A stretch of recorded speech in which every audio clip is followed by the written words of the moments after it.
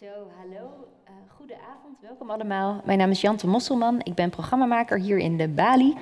Uh, en ik moet een beetje beginnen met een uh, disclaimer. Want wij hadden een programma aangekondigd op de website met drie sprekers. Nu begint het al met dat u hier maar twee andere stoelen ziet staan. Anne T. is ziek. Um, dus dat was al een beetje een domper op de avond. Uh, en toen uh, mailde Paul Verhagen dat hij in een trein zat. Um, maar die kwam uit Gent. En hij is ernstig vertraagd. Maar als het goed is, komt hij zo halverwege binnenlopen. Uh, vrij uitzonderlijk. Dus u zult het met ons moeten doen. Maar ik ga ervan uit dat u allemaal het boek gelezen heeft. En om dat even te testen. Waarom? Toch? Ja, ga je ervan uit dat... Ja, ik ga ervan uit dat jij het gelezen hebt. Wie, heeft, wie heeft het gelezen? Kijk. Nou, dat is toch best wat. Want je hebt een nieuw publiek, dus er valt een hoop te winnen. Dat is ook mooi. Want we praten hier vanavond met Clary Polak, die dit uh, boek schreef. U kent haar misschien als uh, journalist. Um, en nu is daar voorbij, uh, voorbij. Als eerste vraag natuurlijk, waar gaat het over? ja, omdat u het niet gelezen hebt, moet ik dat natuurlijk ja, even vertellen. Um, het gaat over een, uh, een, echtpaar waarvan de man Alzheimer krijgt. En um, over het veranderen van hun relatie daardoor, sowieso. Uh, het gaat over een grote liefde. Het gaat over uh, het belang van herinneringen. voor, om, om, om je leven op verder te kunnen bouwen. En het gaat over nog eigenlijk een heleboel dingen. Maar dit zijn de belangrijkste dingen, zou ik zeggen. En wanneer wist je, ik moet het schrijven? Ik heb nooit geweten dat ik het moest schrijven. Uh, uh, ik weet nog steeds niet of ik het had moeten schrijven, uh, als ik eerlijk ben. ik, ben ik, ben ik ben gaan schrijven erover toen ik ben, dat echtpaar is dus, het is fictie. Het is een roman, maar ik moet eerlijk zeggen dat het enorm aan de werkelijkheid is ontleend. Namelijk dat echtpaar in het boek, daarvan is de vrouw lijkt een beetje op mij en de man lijkt een beetje op mijn man. En ik ben het gaan schrijven, ja, ik moet dat allemaal zeggen, want ze hebben het niet ja, gelezen. Nee. Dus, uh, uh, dus, Goed dat we dat weten. Um, en, en ik ben het gaan schrijven toen ik uh, mijn echtgenoot naar een gesloten zorginstelling had gebracht, omdat ik niet langer voor hem kon zorgen. En ik, uh, behalve dat ik wat schuldgevoel van me af wilde schrijven, ook vooral op een rijtje wilde zetten wat ons nou allemaal was overkomen die jaren daarvoor, zes, zeven jaar daarvoor. Um, een behoefte om een beetje orde in de chaos te scheppen. Dat, dat lukte aanvankelijk helemaal niet, dus ik heb dat ook weer weggezet. Waarom en weggelegd. Niet? Het lukte niet, uh, het lukte gewoon niet. Ik denk dat ik nog geen afstand had genomen of zo. Het, uh, het, het, werd een stapeltje, uh, ja, anekdotisch, anekdotes eigenlijk. Meer werd het niet. En, en, ik, en ik, het, het, irriteerde me ook enorm. Mijn eigen rol irriteerde me enorm. Enfin, alles. ik dacht, ik hou daarmee op, ik word hier niet vrolijk van. Niet dat dat, maar goed, ik word daar niet vrolijk van. En na een jaar of twee, toen ik weinig te doen had in de zomer. Ik heb bijna altijd in de zomer weinig te doen.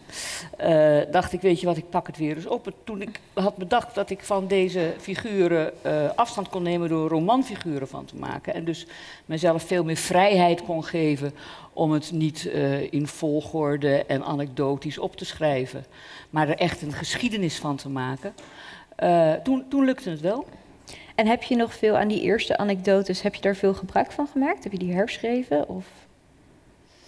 Um, ik heb er wel veel gebruik van gemaakt, maar op een hele andere manier en op verschillende plaatsen in het boek en, en ook door elkaar. En uh, het, is, het is wat dat betreft volstrekt anders geworden dan de aanvankelijke opzet.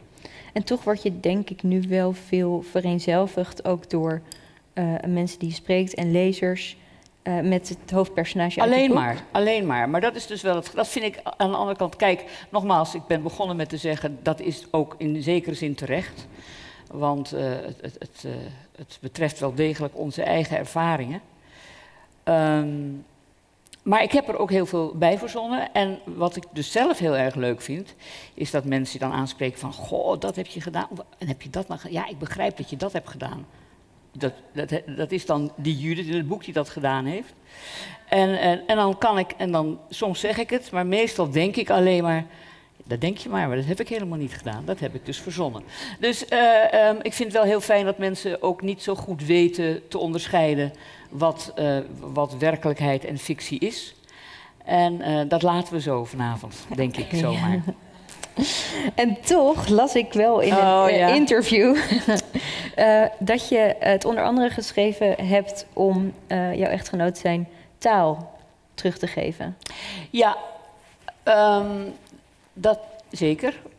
Op een Alzheimer is een ziekte waarbij je langzamerhand van alles verliest. Je verliest je eh, herinneringen. Eerst aan gisteren, dan aan eergisteren. En dat gaat met terugwerkende kracht tot, eh, tot je vroege jeugd. Verlies je dus alles aan herinnering en dus ook alles aan eh, eh, wie je bent. Herinnering aan hoe je zo geworden bent. Je, je, je, je, verliest je persoonlijkheid.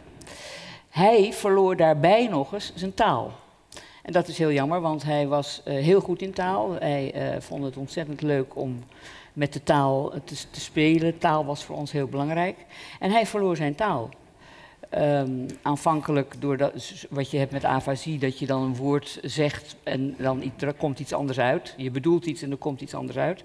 En gaandeweg eh, werd dat echt alleen, niet, meer, niet meer kunnen zeggen wat hij bedoelde. Geen woorden meer kunnen vinden, later geen zinnen meer kunnen formuleren. eh, geen samenhang meer. Dan weer later anderen niet meer kunnen begrijpen. En dat was voor hem natuurlijk eh, verschrikkelijk, dat besef.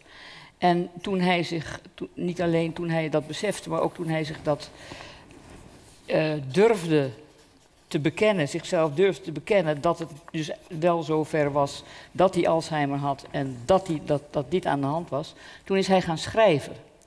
En hij eh, is verhalen gaan schrijven over de enige herinneringen die hij toen nog had, dus was, had, was een laat stadium, en dat was aan zijn jeugd.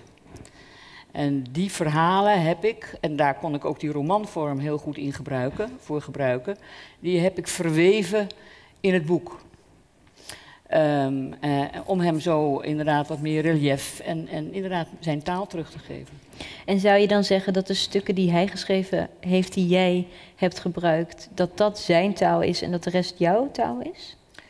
Eh, ja, dat, ik heb zijn taal zoveel mogelijk in, eh, eh, in zijn waarde gelaten. Ik heb daar, behalve, hij was niet een geoefend schrijver, dus ik heb in die zin een beetje geredigeerd. Maar ik heb zijn woorden zijn woorden gelaten, zijn taal zijn taal gelaten. En volgens mij merk je ook dat dat een ander soort taal is dan die ik gebruik in het boek. Dus dat heb ik zo gelaten, ja. Ehm, je zei net ook en dat als je het het- niet merkt, dan zie je het, want het staat cursief gedrukt Dat om ook. te helpen. dat scheelt ook.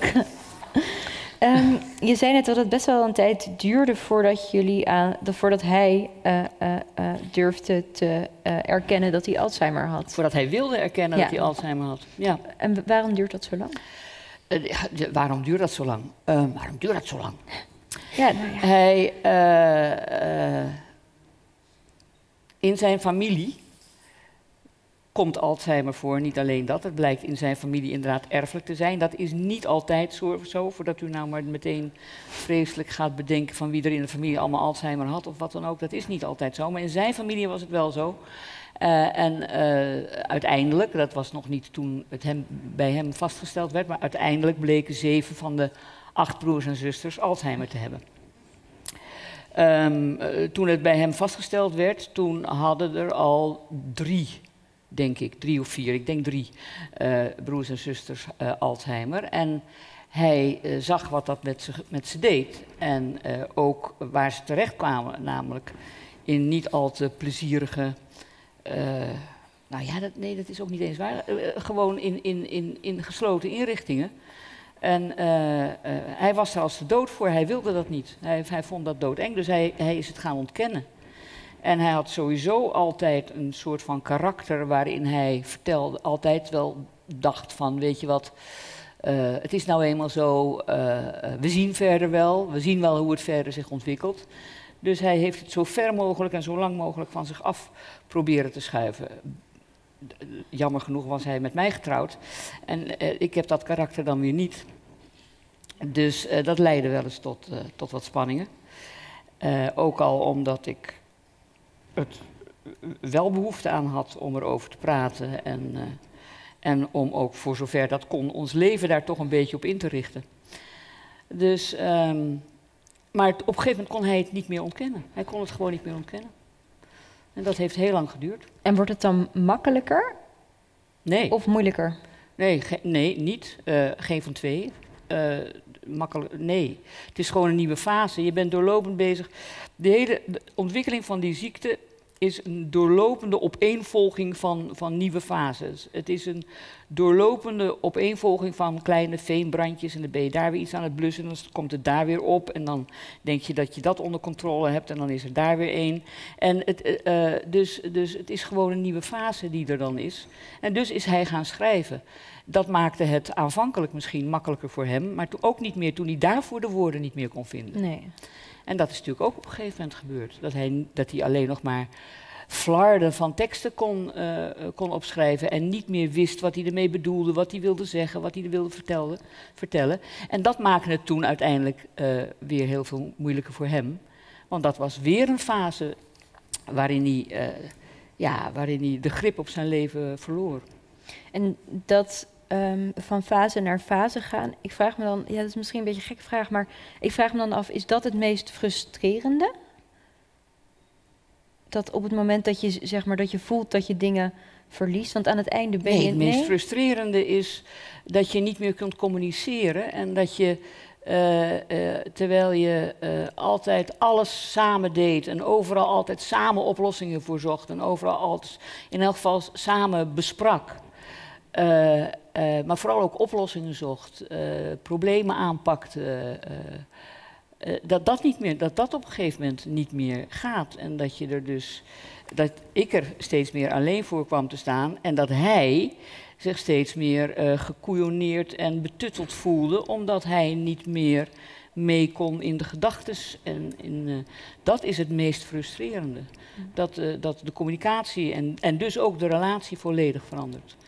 En het andere frustrerende is dat je er niets aan kan doen. Je, er is geen verlichting. Eh, eh, bij, kanker eh, kan ik ook verhalen over vertellen, dat zal ik niet doen. Maar kan je nog een, een, een, een, medicijn hebben dat de pijn onderdrukt. Maar hier is niets, er is helemaal niets. Dus dat is ook heel frustrerend. Je hebt heel erg gezocht ook, of althans, Judith in het boek zoekt heel erg naar oplossingen, ook op een gegeven moment. En alles is vrij, af en toe is er zo'n sprankje van hoop. Ze, ze leest heel veel toch over mogelijk onderzoek en... Mm, ze zoekt niet naar oplossingen. Nee, maar ze zoekt le- ze volgt al het onderzoek, leest, toch? eh, ja, Judith leest veel over dat onderzoek. Ja, het is natuurlijk sowieso, denk ik, dat je eh, iedereen die, zorgt voor iemand eh, die ziek is, dan ga je over de ziekte lezen. Dat lijkt me niet zo gek. Nee, ze zoekt niet naar oplossingen. Zij constateert dat er iedere keer weer eh, sprankjes hoop worden ge- gegeven door goed, echt goedwillende wetenschappers. ehm, die in hun nood aan geld voor onderzoek dan weer moeten zeggen dat ze weer iets hebben gevonden. En dat blijkt dan een maand later, twee maanden later, niet het geval. En, eh, maar het is maar om doorlopend een soort van stroom aan nieuwtjes en nieuws eh, in, in stand te houden.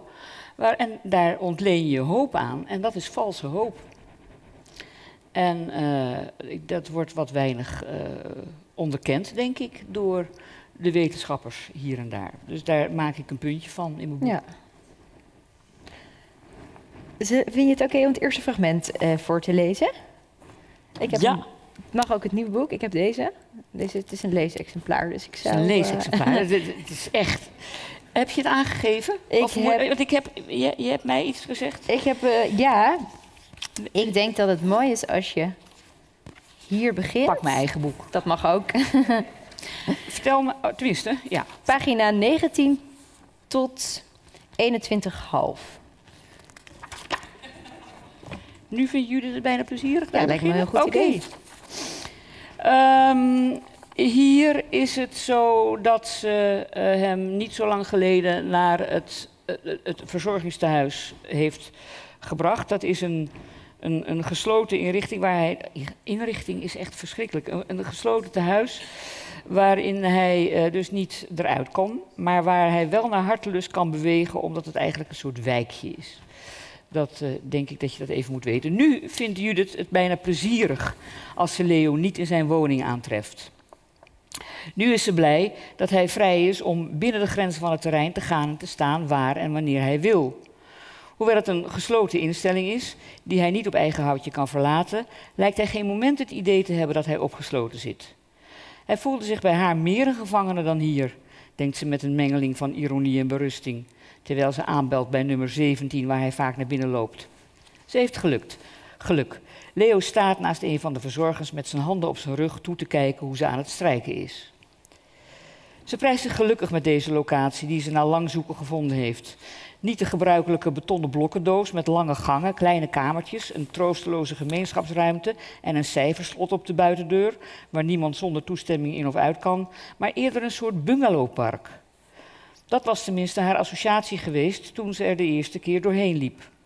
Woningen met een eigen terras, een plein met zitjes, bomen, planten en bloemen, een restaurant en een café, een supermarkt, een theater, een werkplaats en een kapper. De pleintjes en de straatjes hebben er een naam. De deuren van de woningen zijn open. Wel wordt je verzocht aan te bellen voor je er binnen gaat. Je komt tenslotte op bezoek op het privéterrein van de zes of zeven bewoners en hun verzorgers. Je komt binnen in een grote woonkamer met een eetkamer en aangrenzende open keuken, want er wordt iedere avond gekookt. Aan weerszijden van de gemeenschappelijke ruimte zijn de eenpersoonskamers en de badkamers met wc. Verder? Ja, oh, verder. Kijk eens wie daar is, Leo. Uh, en uh, tegen Judith, hij heeft hier vanochtend koffie zitten drinken en nu helpt hij me met strijken. Ondanks de aanmoediging is Leo te veel in beslag genomen door het strijken om te reageren, dus zegt Judith, dag lieverd. Bij het horen van haar stem kijkt hij op, spreidt de armen en zegt, Hi jongen, jij hier. Wat heerlijk dat je er bent. En tot de verzorgster, dat is mevrouw. Hij haalt al enige tijd de geslachten door elkaar, of misschien alleen de woorden waarmee ze worden aangeduid. Dat weet ze niet precies. Maar hij herkent haar nog steeds en dat is een zegen, want geen vanzelfsprekendheid in deze omgeving. Oh schat, wat een toeval dat we elkaar hier tegenkomen. Ze glimlacht. Ik was naar je op zoek. Heb je zin om met me mee te gaan en samen iets te gaan drinken? Oh ja hoor. Hoeveel mensen zijn daar? Drie, vier, zes? Nee, wij met z'n tweetjes. Oh, leuk. Leo heeft een goede dag. Dit is tegenwoordig al een hele conversatie voor zijn doen. Met woorden die een logische volgorde en betekenis hebben en ook door hem min of meer worden begrepen. Leo's vocabulaire bestaat voornamelijk nog uit losse woorden en zinnen die vroeger tot zijn standaardrepertoire behoorden en die vooral betrekking hadden op hun verhouding, zoals Judith, wat hou ik van je? Of wat hebben we het goed? Komt wel goed en we zien het wel, hadden, ze ook nog ergens eh, gehecht, hadden zich ook nog ergens gehecht aan de wanden van Leo's brein. Hij was altijd zeer bedreven geweest in Gods water over Gods akker te laten lopen, wat dan ook niet zelden tot flinke overstromingen had geleid.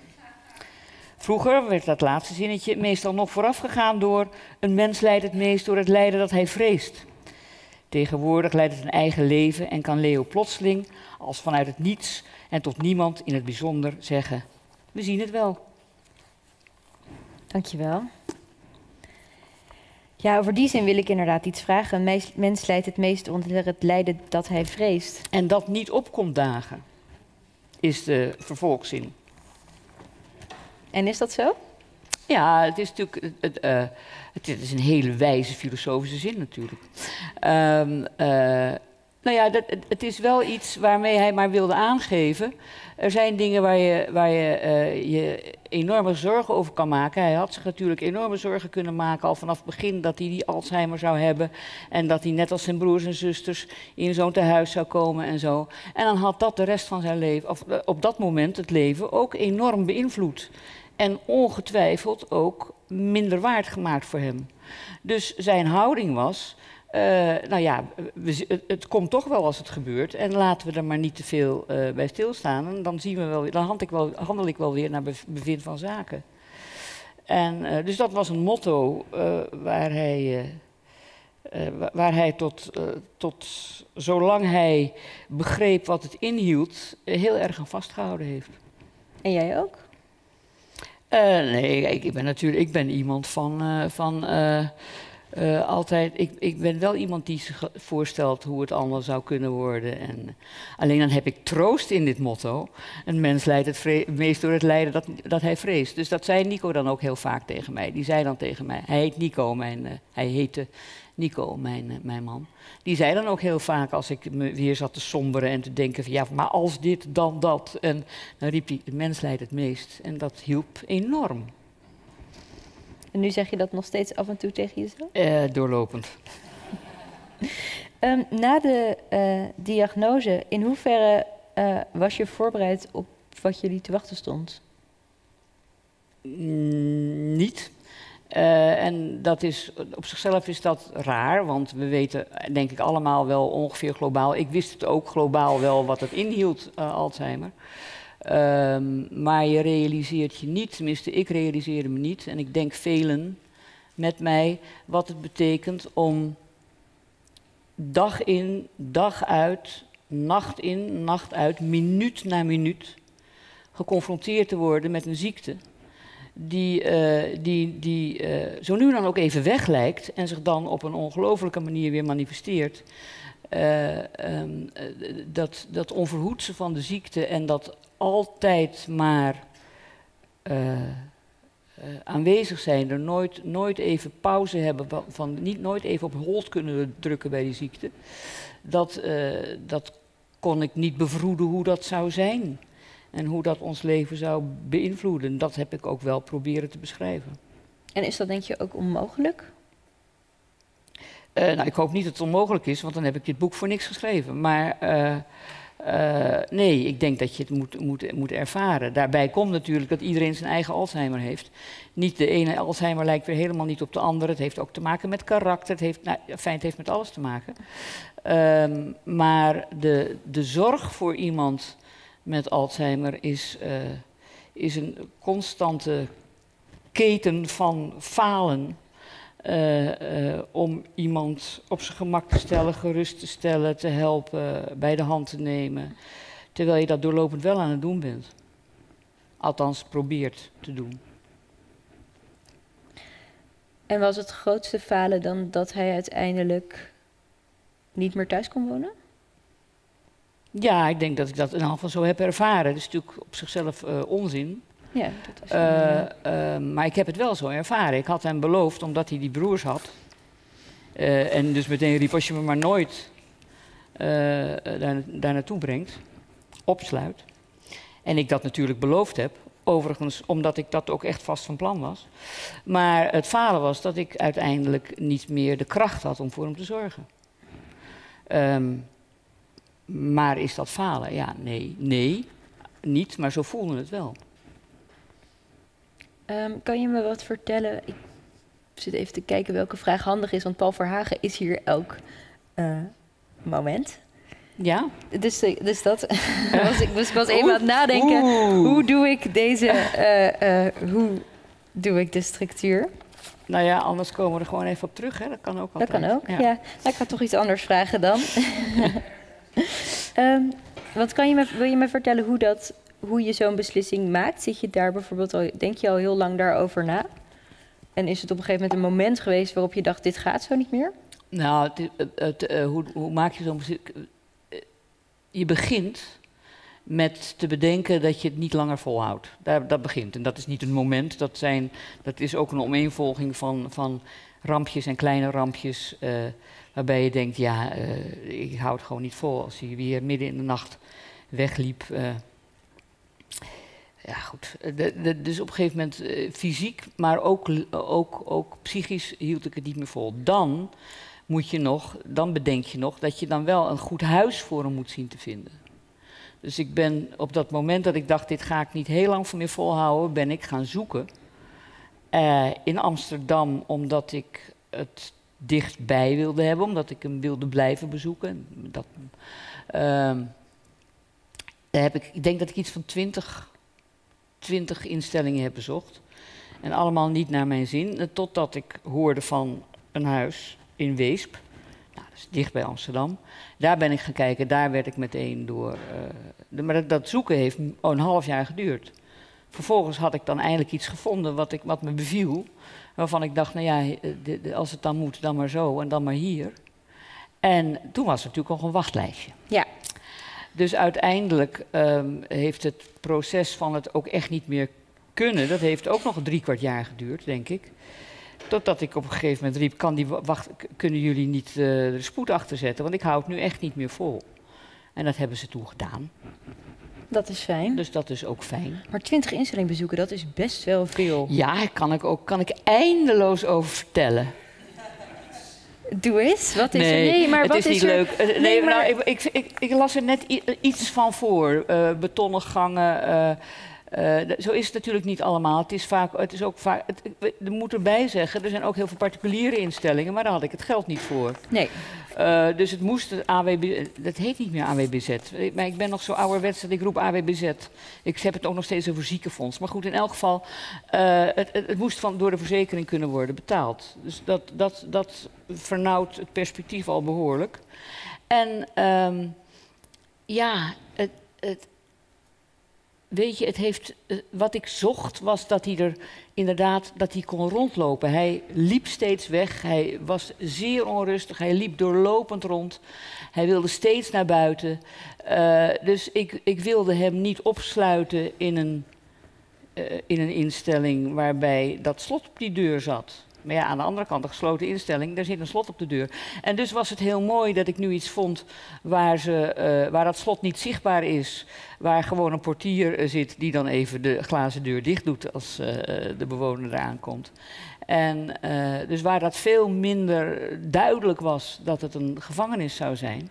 En hij heeft het ook inderdaad niet als zodanig, denk ik, weet ik niet, dat is ook zo frustrerend, dat je niet meer weet wat iemand denkt of voelt of hoe hij iets ervaart.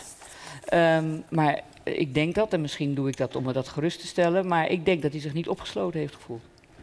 Um, wil je hoofdstuk 19 lezen? Dat is heel eind in het boek, hè? Heel, is, heb je ook een bladzijde per ongeluk? Oh nee, ja, wacht. ja ik heb, ik heb, okay. ik heb, ik heb. Bladzijde 100. 39? Nee, oh nee. Um, nee, dan moet je me even zeggen wat je even. wil, want dit heb je mij niet verteld. Dus wat wil je dat ik lees? Uh, vanaf 152, als we overeenkomen. Vanaf en zo was het. Ah, over de... Um... Over de zorg. Ja, ze zit, ze zit met Leo, geloof ik, in het restaurant of het café van de instelling. Um, en het is een beetje een uh, raar gesprek, overigens. En uh, op een gegeven moment zegt hij... Uh, ja, en verder zijn het allemaal aardige mensen. Hij zegt iets over de mensen die hij daar... ja, ik vind het een beetje lastig om daar nu middenin te beginnen, maar goed. verder zijn het allemaal aardige mensen, zegt hij dan. En zo was het. Judith had grote bewondering voor de verpleegkundigen en de verzorgenden. In het begin had ze moeite met de ijzeren regelmaat waarmee iedere nieuwe dag werd afgewerkt. Vaste tijden voor opstaan, wc, wassen, ontbijt, koffie, wc, soep, warme lunch, rusten, wc, een activiteit, koffie, wc, avondeten, tv, chocomel, wc, naar bed. Maar al snel werd haar duidelijk waarom die structuur noodzakelijk is. Het leven in een verzorgingsinstelling voor dementeerden dementerende is iedere dag weer een aaneenschakeling van improvisaties en goed bedoelde pogingen om het de bewoners waar mogelijk naar de zin te maken. Iedere bewoner heeft zijn eigen gebruiksaanwijzing, die bovendien van het een op het andere moment kan veranderen. Er is te weinig personeel, dus als twee bewoners gelijktijdig naar de wc moeten, geholpen moeten worden met eten of drinken, met elkaar letterlijk of figuurlijk in botsing komen of een andere vorm van aandacht vragen, of als er iemand struikelt, weg wil of in paniek raakt, dan komt dat neer op de schouders van de verzorgende van dienst. Crisissituaties, agressie, paniek, het zijn dagelijkse ongemakken. Zo'n crisissituatie bezweren is één ding. De onrust die dat bij de overige bewoners teweeg brengt, werkt vaak nog de hele dag door. En dan moeten ze ook nog diploma diplomatiek omgaan met de familie. Als het bezoek zo druk of luidruchtig is bijvoorbeeld, dat andere bewoners angstig of agressief worden. Of als een familielid iemand die net ligt of zit te rusten tegen zijn of haar wil mee wenst te nemen naar buiten. En wat te doen als bewoners niet willen douchen of zich niet willen aankleden? Wat te doen als een van de bewoners een huisdier wil, maar een ander er bang voor is? Omgaan met agressie is een hoofdstuk apart. Ondanks alle goede zorg is er veel droefenis en boosheid. De hevigheid waarmee bewoners soms kunnen huilen, schreeuwen, slaan of trappen, doet Judith nog steeds schrikken. Als ook de onverwachtheid waarmee zo'n uitbarsting zich kan manifesteren. Vaak zonder duidelijke aanleiding. Het kan een aanraking zijn, een geluid, een blik of een dichte deur, of helemaal niets. Het kan het besef zijn van eenzaamheid of verlatenheid, desoriëntatie of angst, machteloosheid of pijn, of een plotseling opkomende waanvoorstelling. Het kan ook het afbakenen van het territorium zijn ten opzichte van een medebewoner. Wat helemaal lastig is, omdat die zich daarvan in het algemeen niet bewust is en dus telkens weer een grens overschrijdt. Je zegt maar als ik moet ophouden. Hè? Ja, zeker. Van iedere verpleegkundige en verzorgende worden van minuut tot minuut acties en beslissingen gevraagd waar een doorgewinterde crisismanager tonnen voor betaald krijgt. Als ik maar nooit naar een verpleeghuis hoef, denkt Judith vaak als ze weer een incident meemaakt. Het verpleeghuis is het laatste station voor de dood. Een noodzakelijk kwaad waar het leven dat je nooit had willen leven verlengd wordt. Waar iedere poging om er nog iets van te maken en de aftakeling een halt toe te roepen een gevecht is tegen de bierkaai. Daarom wellicht ook is het zo moeilijk voldoende personeel te krijgen, denkt Judith. Het is zwaar en slecht betaald werk. Zelf zou ze het niet kunnen. Of eerlijker gezegd, niet willen. Tegelijkertijd maakte zich druk over het slechte imago van de verpleegzorg in dit soort instellingen. Verval, want dat is het waaraan de mensen hier ten prooi zijn, wordt zo makkelijk verward met verwaarlozing. Demente mensen kunnen vaak niet meer aangeven dat ze naar het toilet moeten. Ze plassen en poepen niet op commando of vaste tijden. Dus doen ze het in hun broek of luier. Het hoort bij het dement zijn. Daar heeft niemand schuld aan en het wijst ook niet op slechte zorg, tenzij het niet meteen wordt opgeruimd. Het is verschrikkelijk om te zien, dat wel. Ze had het een bekende Nederlander onlangs zelfs mensonterend en beestachtig horen noemen. Bij dat woord had Judith onwillekeurig moeten denken aan haar oude, inmiddels overleden kat. Anderhalf jaar voor zijn dood ongeveer was hij incontinent geworden. Dat was lastig geweest. Ze had het iedere keer weer op moeten dweilen. De flessen met vlekkenspray voor het tapijt waren niet aan te dragen geweest. Maar ze had er geen aanleiding in gezien hem uit zijn lijden te verlossen, omdat ze helemaal niet de indruk had dat hij leed onder zijn incontinentie. Het woord beesachtig was dus niet bij haar opgekomen. Ze had hem pas een spuitje laten geven toen hij was opgehouden met eten en drinken.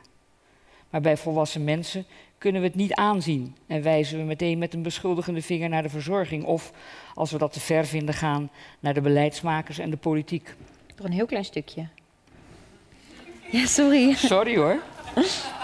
Natuurlijk, uh, ik wil het hele boek eigenlijk ook wel. We kunnen ook voorlezen avond hier. dat kan. We zijn er bijna. Oké, natuurlijk, natuurlijk zouden politici wat vaker met hun poten in de modder moeten staan. En natuurlijk is er te veel bezuinigd. Judith heeft alle begrip voor acties om de werkdruk te verminderen en de dementenzorg persoonlijker, onconventioneler en liefdevoller te maken. Maar misschien moeten we ook eens naar onszelf kijken, denkt ze. Wij, de familie, de goede vrienden. Als we onze geliefden met enige regelmaat bezoeken, vinden we dat zelf al heel wat. Toen ze Leo had aangemeld voor dit verzorgingshuis, ze schrift, had ze schriftelijk moeten beloven dat ze minimaal vier uur per maand zou investeren in wat hier familieparticipatie werd genoemd. Vier uur per maand. Toen ze haar verbazing daarover kenbaar maakte, was het antwoord dat veel familieleden zelfs dat niet halen. Te druk, te ver weg of gewoon blij van de verzorging verlost te zijn. Alles wat extra aandacht vergt en niet meteen meetbaar resultaat afwerkt, laten we blijkbaar graag over aan iemand anders die er zijn werk van heeft gemaakt. Dank je wel. Laatste zin. Zijn werk van heeft gemaakt. Punt.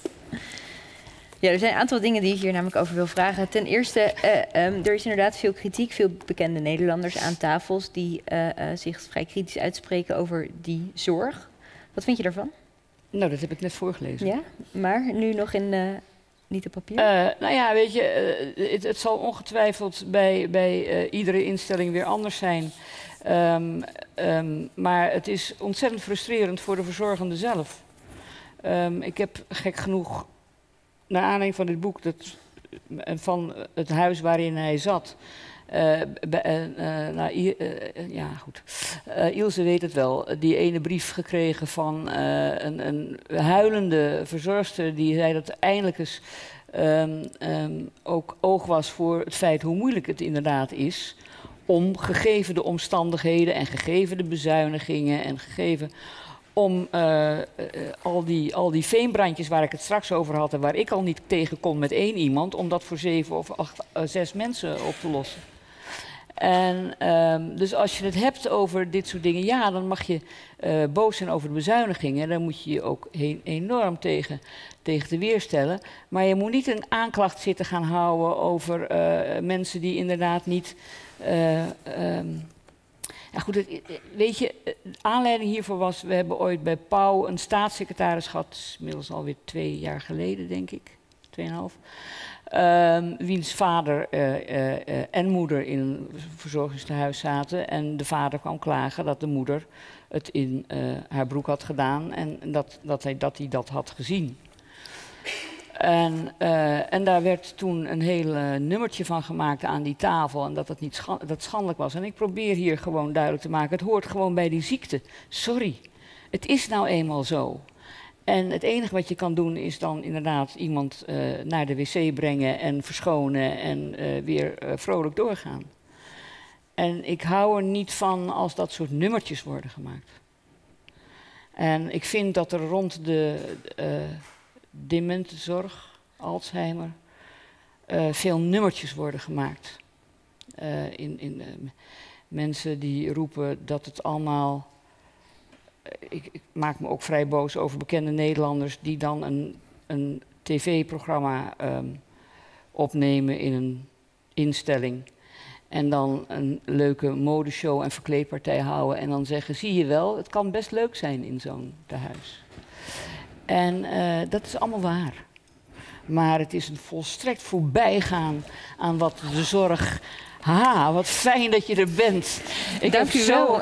ik heb zo naar je verlangd. Oh, er gaan meteen wel twee mensen weg. Dat is dan wel weer jammer. Waarom zou dat dan zijn? Sorry. Ehm, ik zal ook mijn zin afmaken. Ja, graag. Ik, dat, dat- dat- ik word dus ontzettend kwaad van. Wat een prachtige veters heb jij. Eh, van, eh, van, van mensen eh, eh, die dus net doen alsof er niet gelachen wordt in zo'n eh, tehuis. En eh, dat het dus allemaal, eh, dat mensen niet voldoende aandacht willen schenken aan mensen. Ik word daar ontzettend kwaad over. En ehm, nou ja, daar heb, ik, eh, daar heb ik dan een nummertje van gemaakt in mijn boek. Hi. Ja, ik val er middenin. Hè. Ja, je Ja. valt er middenin. Het gaat er even omdat ik kwaad word. Van, eh, ehm, eh, niet, niet van kritiek op politici en zo dat er bezuinigd wordt, maar wel van kritiek op de bezo- verzorgenden. eh, als zouden die te weinig aandacht hebben voor eh, de mensen in zo'n Ja. tehuis. En, fijn. Da- daar, daar hadden we het over, toch? Hadden we het Ja, over. Ja. ja. Ik, denk dat, ik denk dat ik die job niet zou kunnen. Je denkt dat het? Sorry? Ik denk dat ik die baan niet zou aankunnen. Nee, ik, nou, dat, dat, Zo, dat ja, heb ik net, eh, ja, ja. net ook gezegd. Ik zou Ja. het zelf niet kunnen. Ja. En, eh, en er komt zo ontzettend veel bij kijken. En, eh, dus ik, ben, ik, heb, ik heb het proberen op te nemen voor, de, voor het personeel, zal ik maar zeggen. En, eh, en me wel afgezet uiteraard tegen de bezuinigingen. Eh, ik, ik zal u ook even voorstellen eh, aan de zaal, voor degenen die niet weten wie u bent. Eh, Paul Verhagen, dokter in de klinische psychologie en hoogleraar in Gent. En auteur van diverse boeken, eh, waaronder Liefde in tijden van eenzaamheid, identiteit, autoriteit en, dit is de laatste, eh, intimiteit. Dank dat u eh, deze lange tocht naar ons Ja, eerst en vooral mijn excuses. Ik heb een gloeiende hekel aan te laat komen. Daarom neem ik een trein vroeger. Ik moet, normaal gezien arriveerde ik Amsterdam kwart voor zeven. En kijk, twee keer vertraging onderweg. Ehm, ik ga eventjes eh, Ja, kijken. ga eh, nou maar eens een leuke ja, overgang precies, maken. Ja, daar was ik ook naar aan het kijken. Nou ja, een van het, we eindigden het, het andere fragment, eh, Clary, waarin je schrijft ehm, dat mensen vinden al als ze vier, dat van de zorginstelling vraagt vier uur per maand, dat mensen moeten komen. familieparticipatie noemen ze dat dan ook. Ja, vier uur. En, eh, dus dat vond ik nogal verbazend. En eh, nou goed, dan hoor je dus dat een heleboel mensen dat zelfs niet halen. Dus het is ook wel degelijk zo dat als we dan eh, kritiek hebben, laten we ook eens naar onszelf kijken. Ja. En zal ik een beetje naar voren juist? Want moet je, moet je heel erg. eh, nee, ja, ik weet echt niet. Lukt, lukt Ja? wel hoor. Ja. Oké, nou goed. Zeven Eh, bezoeken. ja, gaat zo. Ja. Ja.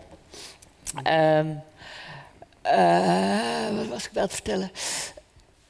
Dat we ook naar onszelf moeten kijken. Ja, dat we naar onszelf moeten kijken. En, en dat we natuurlijk eh, niet ontslagen zijn van de plicht als we eenmaal hebben, hebben eh, moeten, moeten vaststellen dat we eh, thuis niet meer kunnen. Dan zijn we nog niet eh, ontslagen van eh, de liefde en de plicht om eh, eh, dan elders wel degelijk ook te helpen met die zorg. Of, of, eh, en dat dat niet meteen maar de deur uit te doen en eh, in, het, Ja. eh, in de schoot van anderen te werpen, die daar dan professioneel inderdaad weliswaar mee bezig zijn en dat ook vaak heel goed doen. Maar die ook wel die hulp nodig hebben. Eh, Paul, jij kijkt erg naar ons als mensen. Vind je dat we die plicht verzaken? Goh, je kan daar moeilijk een algemeen antwoord op geven. In in het, in dit geval duidelijk niet. Hè. Eh, ik denk dat eh, de manier waarop dat jij je partner, wij, jij en jou in Vlaanderen, hè, de manier waarop, dat, waarop jij je partner ja, omringd hebt met de nodige zorg, ja, daar kan ik alleen maar bewondering voor hebben. Waarschijnlijk is dat toch wel een uitzondering. En ik denk dat dat Ja. ook iets zegt over de kwaliteit van de relatie die er voordien was. Ik denk als je voordien een goede relatie hebt, dat je dan eh, sneller geneigd zou zijn, of misschien meer bereid zou zijn om dat engagement verder te zetten. Maar misschien heb ik het verkeerd voor, dat weet ik niet. Nou, ik, op zichzelf denk ik dat dat. eh, Ja. Ik kan me tenminste niet voorstellen dat als wij Ja. niet zo'n goede relatie zouden hebben gehad, dat ik dat dan allemaal had kunnen doen. Eh, eh, dus tegelijkertijd is het gevaar natuurlijk dat je iemand te lang bij je houdt. Ja, dat is zeker juist. dat is zeker juist, dat klopt. Ja, dat heb ik één keer in mijn onmiddellijke omgeving gezien, waar in dit geval een man voor zijn vroegdemente vrouw bleef zorgen. En eigenlijk dat minstens vier maanden te lang gedaan Ja. heeft. Waardoor het zowel voor hem niet goed was als voor zijn partner niet goed was. Nou ja, dat is het punt. Ja. Dat, dat constateer ik ook. Ik heb het eigenlijk te lang achteraf gezien. Heb ik eigenlijk te lang ben ik te lang vol goede bedoelingen te lang voor hem blijven zorgen. Eh, aan de andere kant, eh, ik had ook niet eerder Eh, over mijn hart kunnen verkrijgen. Ik Ja, had het ook niet, want anders lijkt het te vroeg. Het, er is nooit een goed moment. Dus het is of te vroeg, je, het Ja. lijkt te vroeg of het is te lang. Iets, Hmm. er zit niks tussen. Ja, en het heeft te maken met schuldgevoel. Hè. Je zegt het zelf, Ja. ik kon het niet over mijn hart krijgen. Eh, terwijl, ik, ik heb maar één ervaring in mijn onmiddellijke omgeving waar ik het heb kunnen volgen. Hè. En daar was die man ervan overtuigd dat de zorg die hij aan zijn partner gaf, dat die beter was dan in de instelling. En dat was niet zo, het was omgekeerd. Ja, nou goed, ik, eh, eh, dat, dat beken ik Ja. in dit boek, dat Ja. dat zo Ja. is. En dat, Ja. dat dat bij mij ook Ja. het geval was. Ja. Dus dat is Dus eigenlijk dat een misvatting. Zorg dragen voor iemand van wie je houdt, kan ook betekenen dat jij moet loslaten. Zeker. Ja.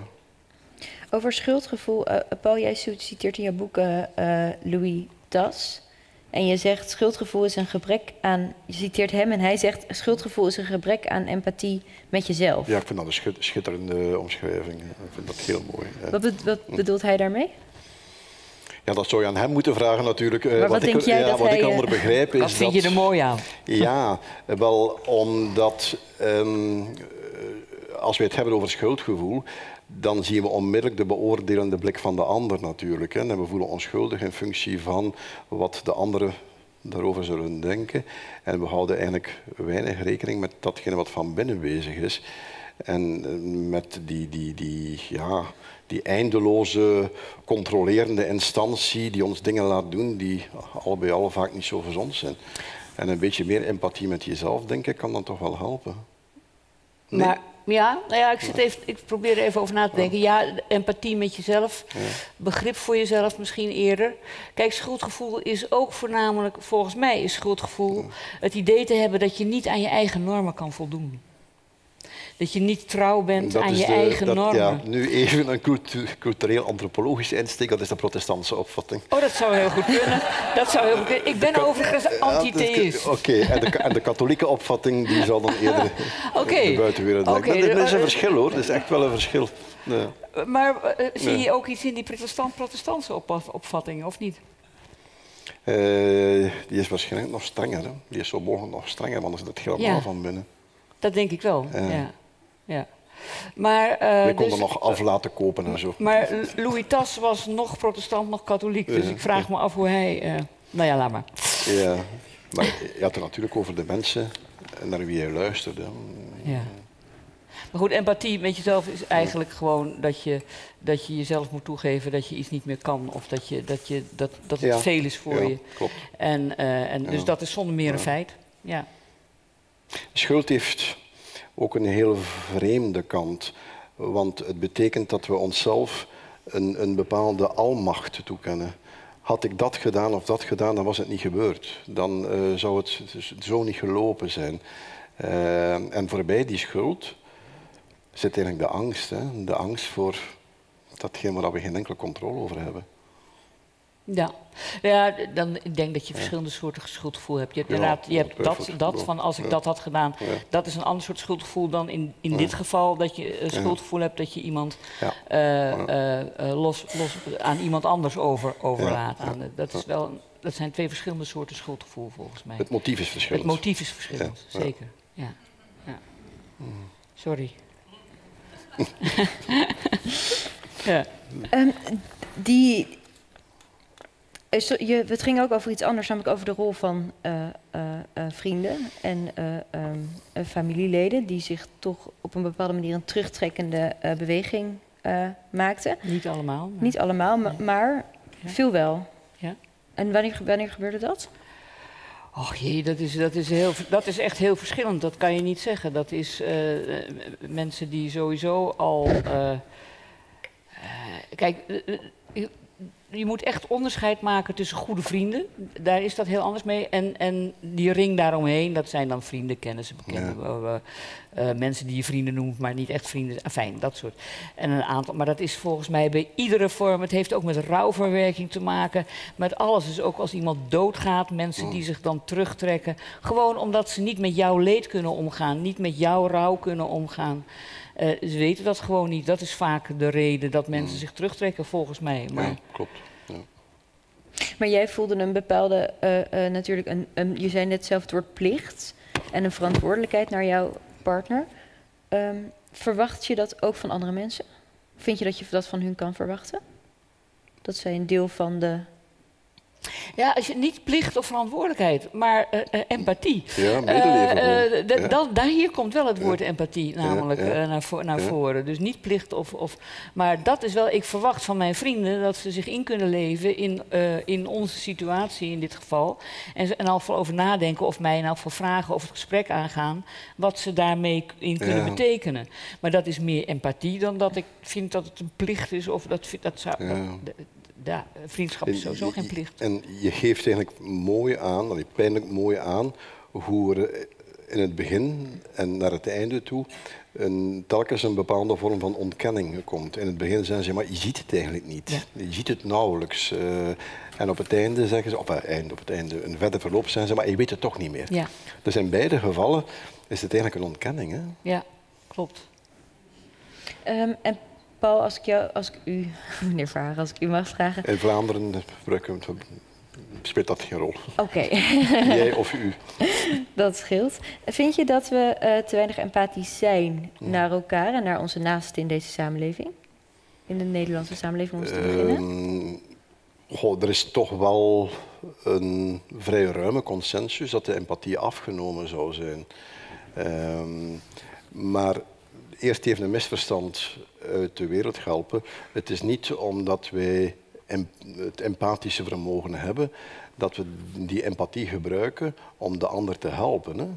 Empathie is gewoon de, van gewoon is de capaciteit om je in te leven in de ander. Eh, bijvoorbeeld psychopaten hebben dat zeer sterk. Dus empathie kan zeer sterk misbruikt worden. Eh, dus je moet er nog een tweede iets erbij plaatsen, dat de mensen die empathisch zijn, dat dan ook gaan gebruiken en, eh, om de ander te helpen. Dat zijn twee dingen die niet noodzakelijkerwijze gekoppeld liggen. Maar in het algemeen, eh, denk ik in onze maatschappij, zijn die twee vermogens gedaald. Eh, en ja, als je dan eventjes kijkt naar onderzoek, de, de mogelijkheid tot empathie of de vaardigheid tot empathie is gedaald, omdat er minder reële sociale contacten zijn. Je, je moet, dat is iets wat je leert. En je, je leert dat, wij kijken elkaar nu in de ogen, je leert op die manier empathisch reageren op de ander, wat je die aankijkt. Eh, als het contact digitaal verloopt, via de telefoon verloopt, via de computer loopt, dan zie je die vermogens dalen. Dat blijkt toch uit heel wat onderzoek.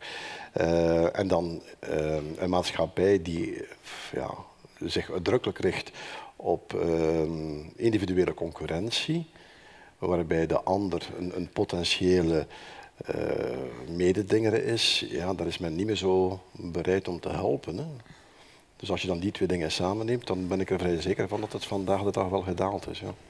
Waarbij je misschien wel een soort onderscheid moet maken tussen empathie in het algemeen eh, ten opzichte van de vreemde, zou ik maar even ja, zeggen. daar, daar, heb ik het de over. Dan, daar heb ik het over. En, en de empathie die je best mag verwachten van de, de, de mensen die je, die je direct omringen.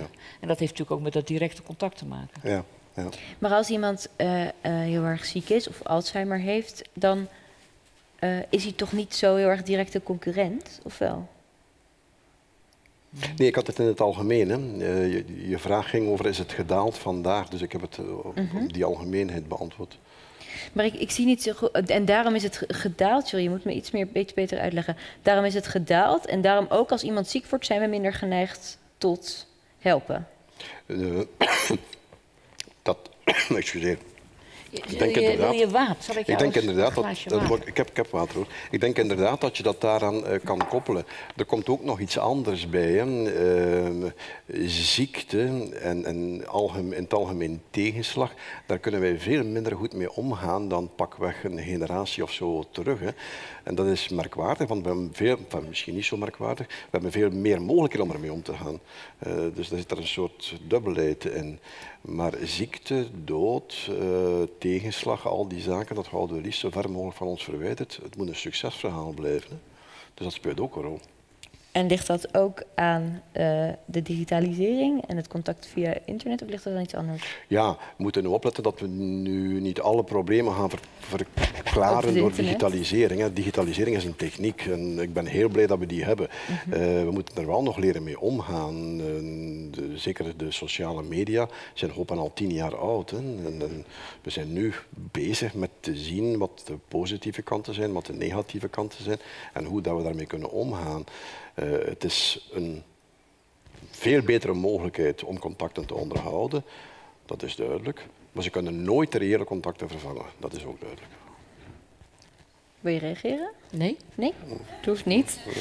Um, nee, ik steek hier wat van op. Nee. Nou, dat is heel goed. Want, want uh, onder andere in, in, in je boek Intimiteit heb je het over uh, zelfzorg. Over? over zelfzorg, dus zorg ja, voor jezelf. Ja, en dat ja. we dat heel erg zijn gaan zien als uh, uh, goed sporten, goed eten, uh, niet te veel drinken. En dat dat zelfzorg is. En jij zegt het goede leven kan eigenlijk niet.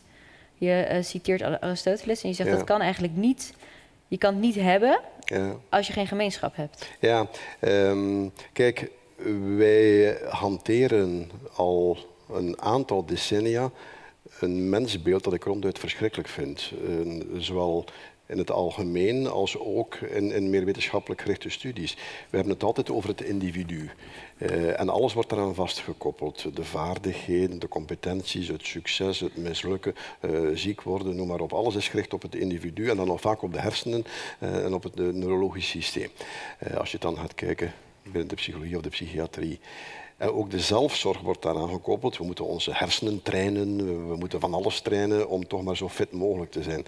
Nu, als je de oorspronkelijke betekenis bekijkt van zelfzorg en ook van de mens, dan is dat de mens in verhouding tot de ander. Het is eigenlijk nog niet zo lang dat wij behept zijn met dat hyperindividualisme. En als je daar een beetje bij stilstaat en zelf nakijkt wat voor jou van belang is, dat is altijd in verhouding tot de ander.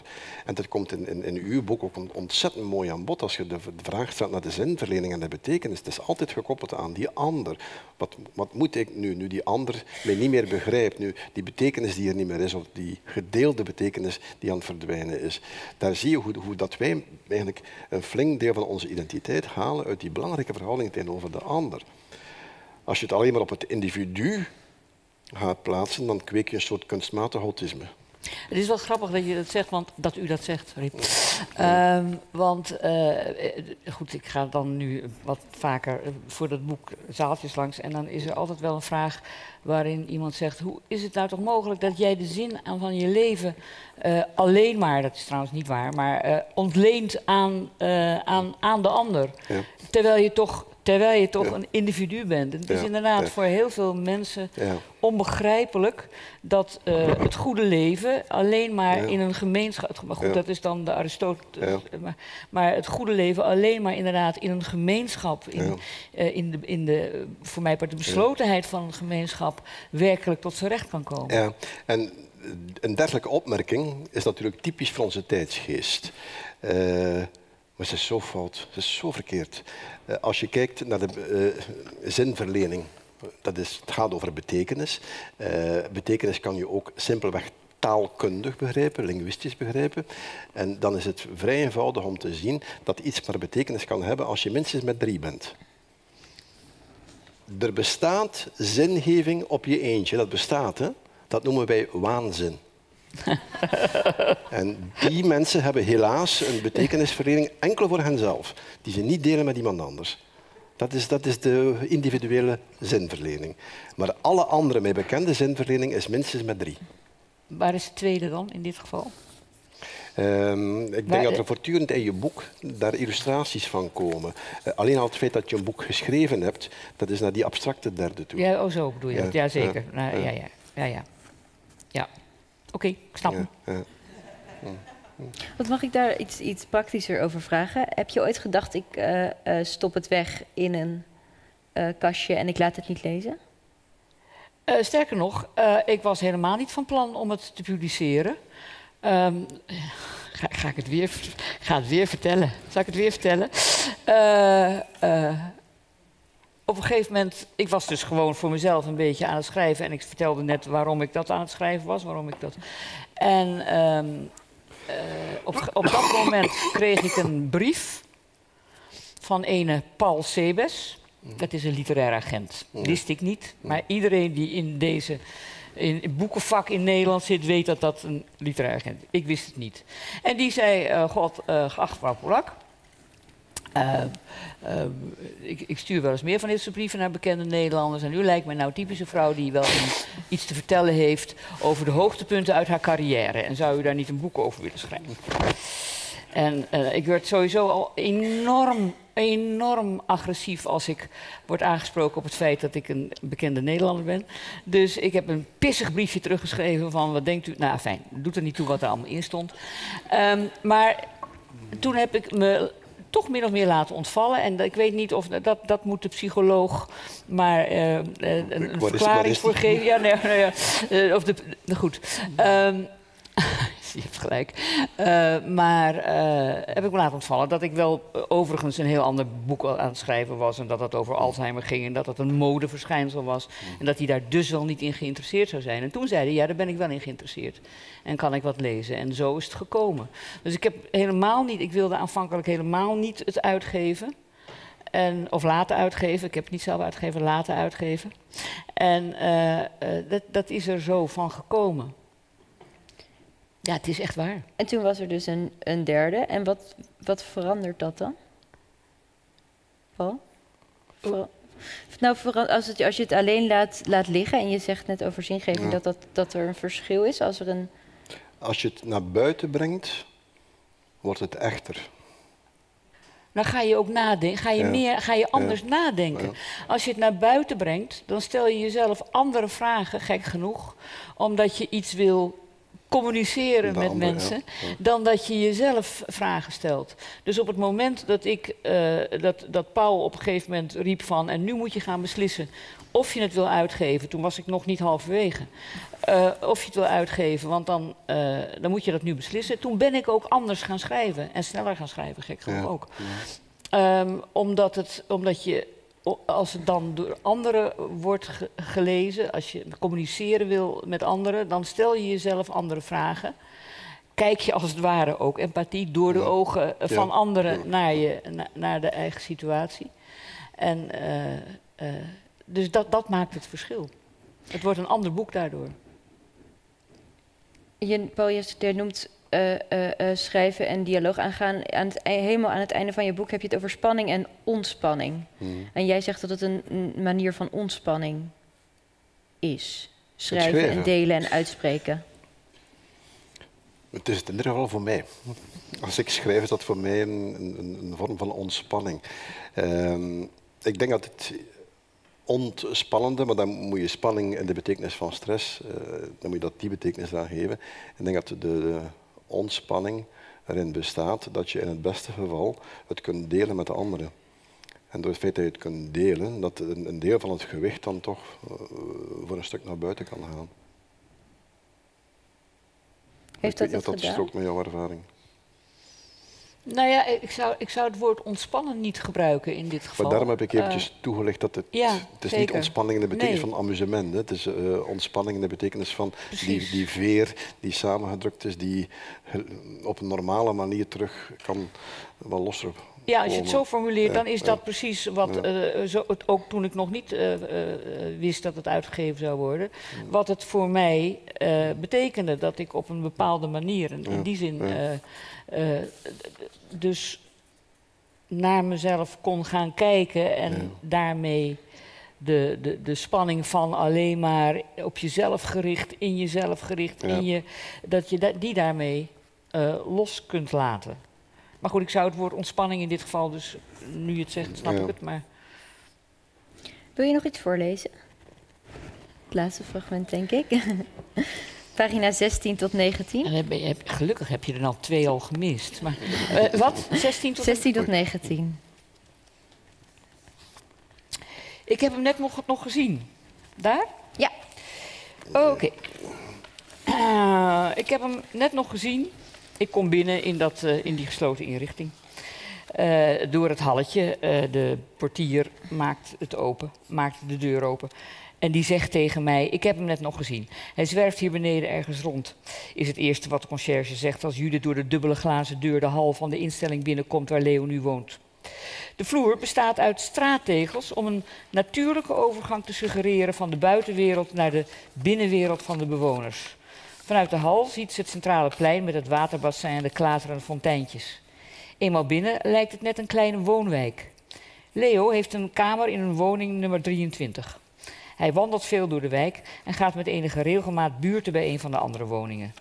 Dan moet ze hem zoeken, wat soms wel een half uur duurt. Hij is niet iemand voor achter de geraniums, nog niet. Toen hij nog thuis woonde, was het niet anders geweest. De laatste paar jaar was hij rusteloos. Hij wilde voortdurend naar buiten, ongeacht het weer. Binnen verveelde hij zich. Lezen ging niet langer, de televisie boeide hem niet, naar de dagopvang wilde hij niet. Met de mensen daar had hij niets gemeen, gemeen, vond hij. Bovendien zag hij het nut niet in van al dat schilderen, koekjes bakken, bloemschikken of wat ze verder bedachten om hem van de straat te houden. Een zorgboerderij, hij moest er niet aan denken. Hij wilde niet bezig gehouden worden, hij wilde bij Judith zijn. Leo begon als een hondje achter haar aan te lopen. Hij liep zelfs met haar mee tot in de wc. Ze werd er soms gek van. Voor het eerst drong het tot haar door dat zijn doorlopende aanwezigheid haar verstikte. Om lucht te krijgen en in de hoop dat het hem enigszins zou vermoeien, ging ze zo vaak, ging ze zo vaak mogelijk met hem wandelen. Want met zijn lichamelijke conditie was niets mis. Ze liepen hand in hand, niet veel anders dan vroeger, met dit verschil dat Leo de blik voortdurend op de grond gericht hield, zich niet langer bewust van zijn omgeving. Judith kon het niet helpen dat ze soms dacht dat, er dat ze er misschien een hond bij moest nemen. Dan hadden die dagelijkse rondjes door de buurt tenminste een doel. Ze schaamde zich vrijwel onmiddellijk voor die gedachte, maar de associatie met het uitlaten van de hond schoot sindsdien met enige regelmaat door haar hoofd. Ze werkte inmiddels zoveel mogelijk thuis om hem gezelschap te houden. Waarom ben ik hier? Je woont hier. Ik woon hier helemaal niet, ik ga naar huis. Natuurlijk probeerde ze hem er iedere keer weer van te overtuigen dat hij thuis was. Maar hij geloofde haar niet, werd driftig, beweerde dat ze hem opsloot en liep dan buiten zichzelf van woede de deur uit. Judith had geen andere keuze dan achter hem aan te gaan. Ze volgde hem op enige afstand, zoals in een slechte detective, om te voorkomen dat hij haar zag, omdat hij anders begon te rennen om haar kwijt te raken. Dat kon uren zo duren. Eh, eh, dat kon uren zo doorgaan, tot hij vergat waar hij was. Dat was het moment om hem te benaderen. Meestal deed ze of ze hem toevallig tegenkwam. Dan klaarde zijn gezicht op. Hé hey, schat, wat een toeval, jij hier. Wat heerlijk. En dat gebeurde soms drie of vier keer per dag en op de duur ook s'nachts. Ze had hem de laatste paar jaar vaak om vervloekt. Voor hun vrienden was het, ik, kijk zo nu dan naar jou als je Mhm. zegt dat, oh nee, voor hun vrienden was het al veel eerder duidelijk dat het niet meer ging. Een aantal van hen moesten regelmatig inschakelen om op hem te passen, hem af te leiden en bezig te houden als ze voor haar werk toch buitenshuis moest zijn. Judith had tegen beter weten in nog lange tijd gedacht dat het zo vaart niet zou lopen, doordat ze hem consequent overal mee naartoe bleef, bleef nemen. Naar concerten, theater, etentjes, het café. Maar dat bleek zelfbedrog. Ze haatte zichzelf toen ze moest toegeven dat niets wat ze deed of had gedaan zijn ziekte kon vertragen. Ze haatte het gelijk van hun vrienden. Ze haatten de wereld die niet was ingericht op de groeiende beperkingen die ze ondervonden bij hun pogingen, nou ja, haar pogingen, zich niet te laten inperken door die godvergeten ziekte. Pas nadat ze Leo eindelijk had ondergebracht in een verpleeghuis, had ze zich gerealiseerd dat het thuis dat hij had gezocht waarschijnlijk het ouderlijk huis was geweest in Rotterdam. Een van de vage herinneringen die Alzheimer hem nog gelaten had. Dat zijn wanhoop minstens zo groot moet zijn geweest als het hare. Dat, en dat hun situatie en haar onvermogen de handdoek in de ring te gooien een zware wissel had getrokken op het geduld en het begrip van het slinkend aantal vrienden die hen omringden. Leo nam niet langer deel aan gesprekken, kon niet volgen waar ze over gingen en voelde zich in toenemende mate buitengesloten. Hij werd er ongedurig van en kwaad. Steeds vaker eindigden bijeenkomsten die gezellig hadden moeten zijn in een overhaast vertrek. Steeds minder werden ze gevraagd te komen eten of mee uit eten te gaan. Ja, tot hier. Uh, we hebben het er net wel even over gehad, dus dat mensen uh, uh, toch een soort van terugtrekkende beweging maakten. Ze, ze nodigen het, nou ja, Leo en Judith niet meer uit. Ja, het was ook niet altijd gezellig meer. Nee, dat snap ik. Neem je, niet, neem je dat niet kwalijk of begrijp je, begrijp je het? Nee, ik begrijp het eigenlijk ook wel. Maar kijk, eh, en, en het andere is natuurlijk, er was natuurlijk een aantal vrienden die ik hier dan niet beschrijf, beschrijf die wel natuurlijk doorbleven gaan. En die wel de empathie op konden brengen om, en dat, die dat gewoon op de koop toenamen. En die ook met name gek genoeg met mij de empathie op konden brengen. Om, om te bedenken dat ik dit gewoon heel erg nodig had om eens in een andere omgeving te zijn en met andere mensen. En waardoor ook de, de druk er een beetje van af werd gehaald. Dus nee, ehm, ehm, ik heb het heleboel mensen niet kwalijk genomen. Een paar wel, maar, maar, daarvan, dat is meer de verwachting die je van mensen hebt. Daarvan had ik verwacht dat ze die empathie hadden kunnen opbrengen. En dat gebeurde niet. Ja. Uh, jammer. Ja. Geen vrienden meer. Nou, niet echt meer. Ja. Hoe kijk jij naar dit fragment? Wat zeg je? Hoe luister jij naar dit fragment? Ja, ik denk dat er heel veel mensen eigenlijk geconfronteerd worden met hun eigen angst en hun eigen onvermogen daarbij. En dat ze op grond daarvan eigenlijk een, een vrij menselijke reactie vertonen. Ze nemen afstand, ze verdwijnen. Maar goed, ja, toch liever die andere reactie hoor. Ja, ik, heb, ik had ook liever. Maar, maar weet je wat je ook krijgt als je zo'n boek schrijft? Denk je ook. En hoe heb ik me vroeger dan gedragen? Ja. In zo'n geval. Ja, en als ik heel eerlijk ben, uh, en dat kan ik nu benoemen en ik weet nu ook waardoor het komt. Maar er zijn er natuurlijk ook wel, kan ik ook nog wel dingen uit mijn eigen uh, geschiedenis uh, aanwijzen waarbij ik uh, kennissen of vrienden. Of dat ik gewoon me geen raad wist hoe ik ermee om moest gaan. En dat ik dus maar de gemakkelijkste weg, dat is het dan vaak wel, koos. En dan dacht van, nou ja, weet je wat, dan maar even niet. Ja, um, maar dit is denk ik ook waar het wel uh, uh, lastig wordt voor ons allemaal in de toekomst. Want er zijn steeds meer mensen met Alzheimer, er zijn steeds meer mensen met Het is een probleem dementie. van u allemaal. Ja, dat, nou ja dat, maar dat is wel zo, toch? Of niet? Ja, ja, wat moet ik daar nou op zeggen? Uh, uh, het is in elk geval iets waar je, waar je, uh, waar je over na moet denken. Um, maar of het nu voor ons allemaal moeilijker wordt, hangt ook van de mate van de vriendschap af. Kijk, ik denk sowieso dat je het van een maatschappij niet kan verwachten. zorg in dit, dit soort gevallen. Ik denk dat je, dat je het altijd uh, ik, tenminste, laat ik het anders zeggen. Ik, ik, kan, ik kan me geen zorgsysteem voorstellen uh, waarin je uh, de maatschappij op een andere manier erbij zou kunnen betrekken dan die er nu bij betrokken is. We hebben het nu over de participatiemaatschappij. Ehm, je zou hooguit bij dat concept zou je vraagtekens kunnen eh, stellen, omdat de participatiemaatschappij uitgaat van mensen die wel voor zichzelf kunnen zorgen, die juist wel eh, als ze 90 zijn nog net 60 re- lijken, Ja, die, eh, die, die, Ja. die wel hun eigen hulp kunnen, kunnen organiseren. En het, dat, dat ontkent dus de hulpeloosheid van die hele grote groep mensen en die steeds groter gro- wordende groep mensen. Eh, die dat niet meer zal kunnen. Dus daar zouden we misschien over na moeten denken. Maar dat is eigenlijk het enige zinnige wat ik erover kan zeggen, geloof ik. Ja, Als het heel dat zinnig die, is. ja, heel het idee van die participatiemaatschappij is eigenlijk een, een ik noem dat volksverlakkerij op een bepaalde manier. Ja, dat is Want het zeker. het komt erop neer dat het een, een soort ja, nog verder doordrijven is van dat individualisme. En, en, en, en iedereen moet het maar zelf zien te redden. En iedereen moet maar op tijd zijn eigen maatregelen nemen om ervoor te zorgen dat er straks voldoende geld is om dan een, een heel duur eh, rust- en verzorgingshuis te kunnen betalen. Terwijl een, een, ja, een maatschappij die geen zorg opneemt voor de zwakkeren, en dat zijn de kinderen en de ouderen en de zieken, ja, dat is een maatschappij die zichzelf om zeep helpt hoor. Ja? Ja. Want? Wel, het begint met de kinderen. Als er, geen aandacht, als er niet voldoende aandacht, is voor kinderen, eh, dan vertaalt dit zich in problemen die je ziet vanaf de puberteit. En dan krijg je toenemende mate eh, last op dat vlak. En dat kan je nu al vaststellen op heel veel vlakken. Ehm, als je ook geen, geen zorg draagt voor die oudere mensen, ja, dan ik weet niet goed hoe ik dat dan moet uitleggen. Het is gewoon onethisch. Ja. Maar goed, dus, dus als, we het, als, als, als dit zou moeten leiden tot een discussie over een zorgsysteem, zou je het in, denk ik in die termen moeten, eh, moeten bespreken. Dat, eh, ik kom er nog maar even op terug, de georganiseerde empathie, zal ik maar even zeggen. eh, dat die in de pa- eh, participatiemaatschappij juist eh, enorm kopje onder dreigt te gaan. En dat we daar op een andere manier misschien naar zouden moeten kijken. En dat je dan op die manier.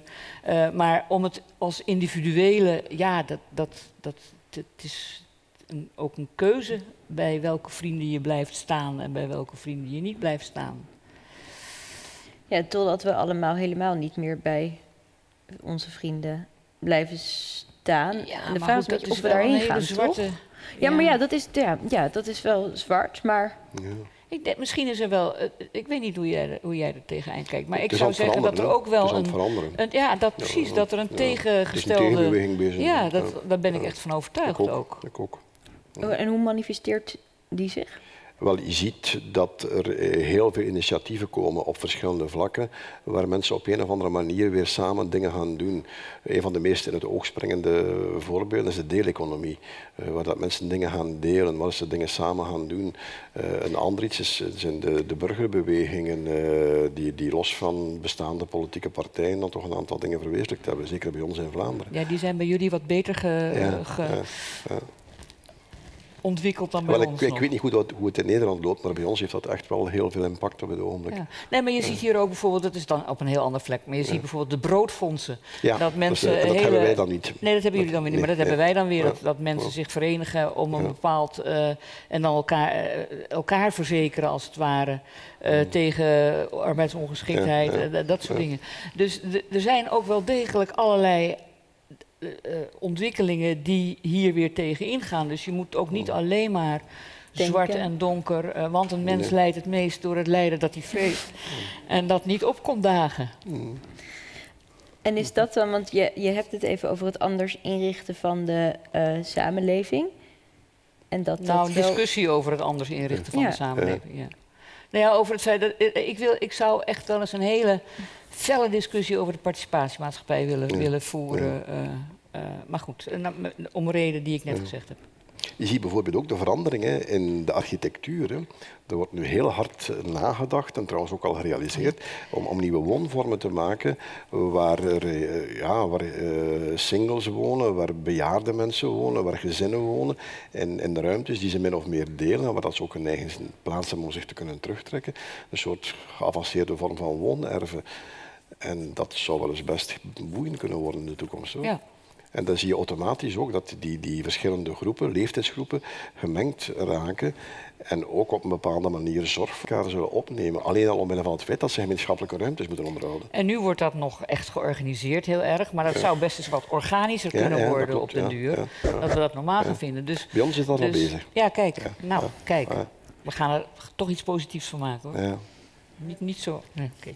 Goed. Eh, dan een laatste vraag voordat ik naar de zaal ga. En, ehm, in dit, want dit, je hoopt dat het organisch gaat en dan komt het eigenlijk vanuit mensen zelf. Maar zie je daar nou ook een, eh, een rol weggelegd voor toch die politici en die beleidsmakers?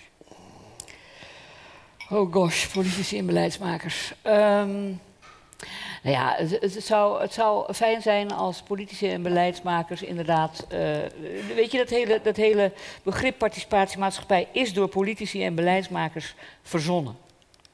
En het is dus... Ik denk dat het nog erger is. Het is nog erger. Ja, het is verzonnen door marketingmensen. Ja, oké, ja, ja, ja, zeker, ja, ja. ja. Maar in dienst van politici en beleidsmakers. Ja. Oh, in opdracht. Precies.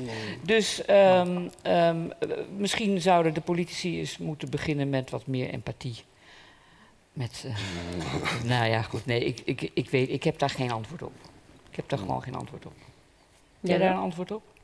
Goh, ja, eigenlijk is dat niet eens zo moeilijk. Ehm, als we dan toch spreken over een participatiemaatschappij en de betekenis die ik eraan heeft, heeft eh, dan kunnen beleidsmensen eens beginnen met te luisteren wat de vragen op de vloer zijn bij ons. Eh, ik ga een ander voorbeeld geven. Er is bij ons op dit ogenblik in Vlaanderen enorm veel te doen over de kwaliteit van het onderwijs. Dat gaat behoorlijk achteruit. En dat is al 10, 15 jaar zo. Ja. En dan krijg je voortdurend eh, politici die het onderwijs nog maar eens willen hervormen. En al tien jaar zeggen de mensen die in het onderwijs staan van maar dit moet veranderen, dit moet Ja, dat veranderen. is bij en ons wordt- precies en wordt niet naar geluisterd. Ja. Dus eh, wel, laat, dus, laat ze eens daarmee beginnen. Dat is zelfs niet eens empathie, dat is gewoon gezond verstand. Luisteren naar diegenen die het moeten doen. Ik hoor ja in de zaal. Ja. Ja. Ehm, ik wil om te beginnen drie vragen. Is er iemand die een vraag heeft? U mag beginnen met één en ik kom naar u toe en ik hou de microfoon vast. Ik ben Fred van Leeuwen en ik heb een vraag. Eigenlijk, er is één kant die een beetje onderbelicht blijft, maar die heb je waarschijnlijk toch ook eh, ervaren, als ik jij mag zeggen tenminste. Zo brutaal ben ik. Ehm, en dat is, het is soms ook heel humoristisch. Er gebeuren dingen in zo'n eh, situatie van iemand die aan het, aan het demonteren is, die, eh, hebben wat waar je ook ontzettend over kunt lachen, toch? Voor, komt in je boek. Kun je daar iets over vertellen? Om de balans. Ja, ik zou bijna zeggen, maar dat is een ontzettend flauw antwoord. Maar eh, lees het boek. Het boek is niet alleen maar zwaar en, Nee, en het is is juist, ook wel degelijk ja. ook tongue in cheek. Ja. Aan de andere kant, eh, er zijn twee dingen. Eh, Dus, dus het is zeker niet dat ik, dat ik alleen maar een soort zwaar en alleen maar ellende. En er gebeuren wel degelijk ook allerlei dingen, en die heb ik ook in het boek opgeschreven, waar je eh, best eh, een beetje om kan glimlachen. Aan de andere kant eh, is er ook, maar dat is ook weer ongemak, ongemak om met de situatie om te gaan. Een heleboel mensen roepen dan: Ik heb zo gelachen toen, ze, toen, ik, zijn, toen ik zijn gebit in de, in, in, de, eh, Koelkast. in de koelkast vond. En dat, zei, dat, gebeurt, dat is dus niet leuk. Dat zijn namelijk geen dingen om te lachen. En dat gebeurt ook. Het is niet leuk eh, eh, als je eh, ergens plotseling allerlei pakken brood groen uitgeslagen achter de boekenkast vindt. Terwijl dat best een leuk verhaal is. Maar het is niet leuk als het gebeurt. Dus dat is niet de manier waarop het lachen is. Maar natuurlijk, dus er gebeuren natuurlijk allerlei dingen. En ik moet je eerlijk zeggen, Leeuw in het boek zegt ook doorlopend in het begin. Laten we er nou om lachen. Laten we, pro- na- laten we proberen ook inderdaad de leuke kant. Maar op een gegeven moment moet ik eerlijk zeggen, vergaat het lachen je wel. Eh, nog een vraag? Ja, ik kom naar u toe. Dan kom ik even zo voor u langs. Ja. Yes, dank u wel. Eh, ja, aan mevrouw Polak, wat heeft u geholpen om dicht bij uw man te... Of aan Clary, eh, wat, wat heeft Dankjewel. geholpen om dicht bij je man te blijven? En wat hebben vrienden geholpen om dicht bij jullie te blijven staan? Eh, liefde, denk ik. Ehm, ik zou niet weten wat het anders zou kunnen zijn. Eh, nee, ja, ja liefde. En dat geldt ook voor de vrienden natuurlijk. Ik bedoel, liefde hoeft niet alleen tussen, tussen een man en vrouw. Dat, eh, vrienden kunnen, kunnen, kunnen elkaar ook... eh, eh, ja, iets anders is het niet. Wat moet ik daarop zeggen? En wat is dan liefde, wil je misschien weten? nou, daar, daar is de, de helft van het boek gaat, is een zoektocht daar, naar, naar een antwoord op die vraag.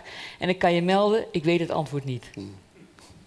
Ja, liefde is gewoon, uiteindelijk is liefde natuurlijk gewoon alleen maar acceptatie. Eh, eh, iemand accepteren eh, in, in, in alle facetten. En ook als het slechter gaat. Dit wordt vreselijk zoet en, en, en eh, ik had gewoon moeten blijven bij liefde. Ja. Liefde. Ja. Nog een vraag?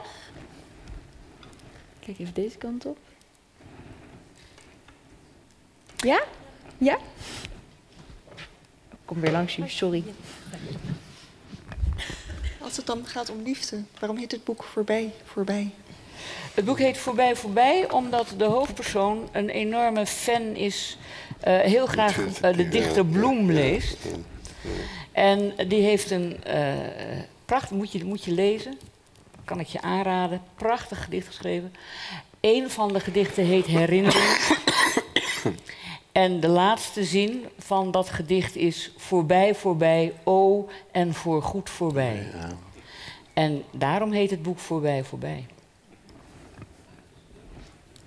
Uiteraard, het is dubbel. Het is, kijk, dat is natuurlijk het grappige. Maar dit is de reden waarom het voorbij voorbij. Dat was de vraag. Het, het, het, het betekent natuurlijk veel meer. Het betekent dat, eh, dat het gaat over een verleden waar eh, de een in dit geval eh, veel meer herinneringen aan houdt Ja, dan de het, ander. dat Die- dus dat, dat heeft het ook. ja, dus da- daar verwijst het ook naar. Het, eh, het, het, het kan zelfs verwijzen naar eh, het feit dat nu. ehm, ehm, dat dit nu zo langzamerhand een afgesloten hoofdstuk is geworden in mijn leven in dit geval. Hoewel het niet afgesloten is, want we lopen het over aan praten en zo. Maar goed, ehm, het, het, het verwijst natuurlijk naar een heleboel dingen. Eh, die je eigenlijk zelf mag interpreteren als je het boek leest. Maar waar het vandaan komt, is van het gedicht. Ja. Een van de mm, zaken die mij opviel, het staat er niet zo letterlijk in, maar je kan het wel uit een aantal passages afleiden. Eh, als je van iemand houdt en je bent zo lang samen, dan heb je samen een geschiedenis opgebouwd. Ja. En die geschiedenis is van jullie twee. En die kan je oproepen met twee woorden, soms met een half woord, want je hebt dat samen meegemaakt. En op een bepaald ogenblik verliest je partner de geschiedenis. Hij Ja. is die kwijt. En vanaf dat ogenblik ga je alleen door met een geschiedenis waar je nog een rol in speelt, maar niet meer samen. Precies. En heb ik het idee dat omdat hij onze gezamenlijke geschiedenis verliest, Ja. ik ook een deel van mijn geschiedenis dat, kwijt dat is ook zo. Hè? Dus dat, dat is ook eh, zo. ja. Dat zeker. is ook zo. Ja. Dus ook in die zin Ja. is het voorbij, voorbij.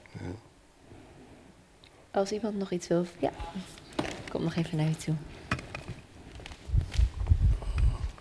Ik hou vast, dank u wel. Dus ook voor Claire, voor Claire. Ehm, is het niet lastig om nu, nu je het boek hebt geschreven, weer telkens ook terug te gaan naar die tijd? Zit er een behoefte bij om het ook echt af te sluiten?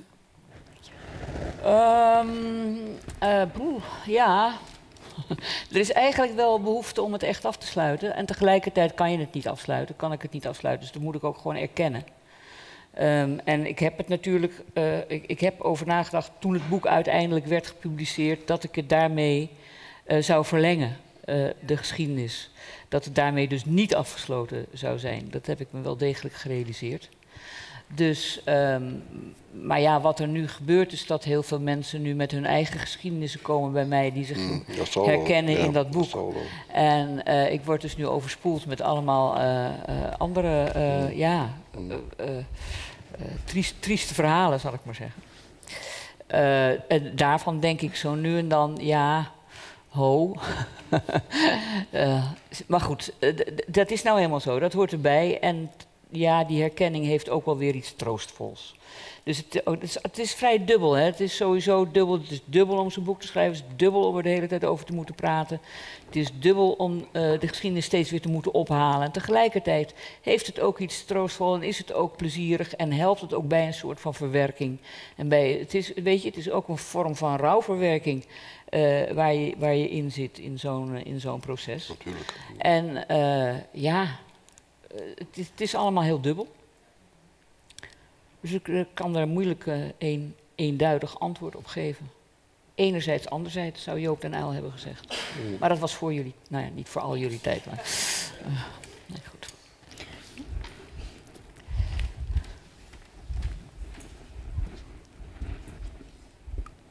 Ik heb een vraag voor Paul Verhagen, want ik vraag me af, uh, nou ja, we hebben het over liefde en dat je uh, dan eigenlijk offers brengt, denk ik. Maar als die liefde er niet meer is, is er dan ook een soort rationele verantwoordelijkheid die je dan draagt voor je, je naasten, voor elkaar? Ja, in mijn optiek houdt liefde altijd engagement in. En een uh, engagement zal zich dan vooral tonen op het ogenblik dat die ander uh, zwakker wordt, ziek is, die, die hulp nodig heeft. En die gaat er eigenlijk vanuit dat dat wederzijds is, dat dit iets is wat zich wisselt. In normale periodes doet dat zich nauwelijks voor. Dan uh, wordt één iemand ziek, zorgt die ander voor en omgekeerd. Maar hier krijg je dan een hele bijzondere situatie, want er is één iemand die een aandoening krijgt waarvan je weet dat het niet meer goed komt. En uh, je zal het nooit in terugkrijgen. Dat, dat kan dus niet. En dan wordt dat engagement wel heel zwaar op de proef gesteld. Maar voor mij heeft dat inderdaad een volle te maken met, met liefde. Hè. Ik gebruik altijd het woord engagement omdat ik het zo verschrikkelijk vind dat wij vandaag heel vaak de uitdrukking gebruiken dat wij in onze liefde moeten investeren. Dat vind ik zo fout. Uh, Waarom? Dat is een financieel iets, investeren. uh, als je wil investeren, bedoel, dat gaat over beleggingen. En het belangrijkste stuk van beleggingen is dat je regelmatig je vermogen ergens elders gaat beleggen. Nou, investeren dus gaat, je, over, investeren gaat gebruikt, over voor wat hoort wat. Tuurlijk, ik doe dit ja, en dan krijg ja, ik dat ervoor ja, terug. Dat, en dat, dat, woord wordt voortdurend gebruikt vandaag ook voor relaties. Bij investeren in relaties. En die komt op de huwelijksmarkt. Mm -hmm. Maar was dit jouw vraag? Nee, wacht. Ja, nou, niet, want het wordt gestreamd. Dus dat is dan zonde, want als er mensen kijken, dan... Nou, of, er, uh, of je naast die liefde ook nog een, een rationele verantwoordelijkheid hebt voor, voor je naaste. En hoe je, die, hoe je dan een offer brengt als er geen liefde is, eigenlijk. Of, dat, of je dat kan verwachten van elkaar. God, uh, binnen... Ja, dat is een moeilijke vraag natuurlijk. Uh, dan keer ik even terug naar wat ook al aan bod gekomen is. Binnen een kleinere groep van vrienden kan je dat wel verwachten omdat, je hebt ook terecht gezegd van de liefde beperkt zich niet tot het koppel. Uh, het, typische van een vriendenkring is dat je daar ook die uitwisseling krijgt. Wat wij nu vandaag de dag verwachten is dat ook op maatschappelijk niveau gebeurt. En dan wordt het toch wel uh, wat moeilijker. Daar moet je echt wel een organisatie voor hebben om dat zo te doen. De, de term evenaaste, het is geen toeval dat dat komt uit een uh, religieus discours binnen een maatschappelijke organisatie. Hè. Wat, uh, dit is, dit is, dit is de, uh, we, we, hebben uh, ons, ons, ons alarmnummer in Nederland doet het niet meer. Ja. En dan krijg je één keer in de zoveel tijd, als je je telefoon niet uitzet, een, een alert ja. krijg je dan. Ja. En dat is dit. En dan is of om je te zeggen dat het nog steeds niet werkt, of om je te zeggen dat het nu wel werkt. Dat weet ik niet. Maar dit terzijde. Dus geen paniek, het alarmnummer geen werkt niet. Geen paniek. geen paniek. Als we, voordat we afronden, als ik daar nog iets over door mag uh, uh, vragen, komt dat omdat we maar beperkt empathie kunnen hebben met maar een paar mensen? Empathie veronderstelt wel degelijk een reëel contact. Uh, je bouwt het op via reële contacten. En natuurlijk, eens dat je een bepaalde leeftijd bereikt hebt, kan je dat overbrengen op andere mensen. Dat gebeurt ook. Je ziet dat, dat zelfs jonge kinderen dat al kunnen. Um, Maar het heeft toch wel te maken met bekendheid hoor. En als je dan opgroeit in een eh, maatschappij die eigenlijk eh, al aan kinderen zegt dat vreemde mensen potentieel gevaarlijke mensen zijn. Als je dan een televisieprogramma hebt waar iedereen naar kijkt met als benaming de mol, waarvan de boodschap eigenlijk is van er is altijd iemand niet te vertrouwen in die groep. Ja, goed, hoe wil je dan dat we spontaan empathie eh, produceren? Nu, het goede nieuws is dat, dat kinderen onder de twee jaar eh, spontaan anderen gaan helpen. Hè? Dat, eh, dat blijkt telkens opnieuw uit onderzoek. Mensen die ze niet kennen. Het goede nieuws is onder de twee jaar en het Ja. slechte nieuws is dat als ze boven Nee. de twee jaar... Oh, nee. Nee, het, het, eh, het nog, betere, van ja, nog betere nieuws. Het andere nieuws, maar wat mij betreft is dat ook wel goed nieuws, is dat het vanaf dat ogenblik sterk afhangt van de opvoeding. Wat ermee gebeurt. Dan kan het de. Want ja, altijd iedereen vertrouwen is ook geen goed idee. Je moet kinderen toch op een bepaalde manier ook wel een beetje alert maken op een aantal zaken. Zeker als het alarmnummer niet werkt. Ja, dat- ja. Ja. Ehm, en wat zijn nu, die, als je het moet zeggen, wat zijn dan die essentieelste dingen die je iemand moet bijbrengen? Boven de twee? dat het de grote meerderheid van de mensen te vertrouwen is. Maar dat als je, ja, als je door iemand twee of drie keer bedrogen wordt, dan klopt er iets niet. Iedereen maakt wel eens een fout. Als iemand twee keer dezelfde soort fout maakt, dan heb ik toch wel mijn bedenkingen. Dan moet je opletten. Maar kinderen leren dat snel hoor. Kijk eens naar een groep kinderen. Een ander kind dat vals speelt, ligt er zeer snel uit hoor. Zeer snel. Is er een laatste vraag? Ja, dat mag. Dat is nou eigenlijk naar aanleiding van de boektitel van Paul, Intimiteit. Voor mij begint intimiteit buiten de slaapkamer. Maar voor jou, Claire, hoe, hoe ga je om met een partner die ziek is? Mhm. En hoe ga je om met de intimiteit? En dan bedoel ik buiten de slaapkamer. Vraagt dat iets Ja, anders van een partner? ja. Eigenlijk voor ehm, allebei. Ik heb intimiteit volledig buiten de slaapkamer gedefinieerd. Dus in die zin sluiten we dan bij elkaar aan.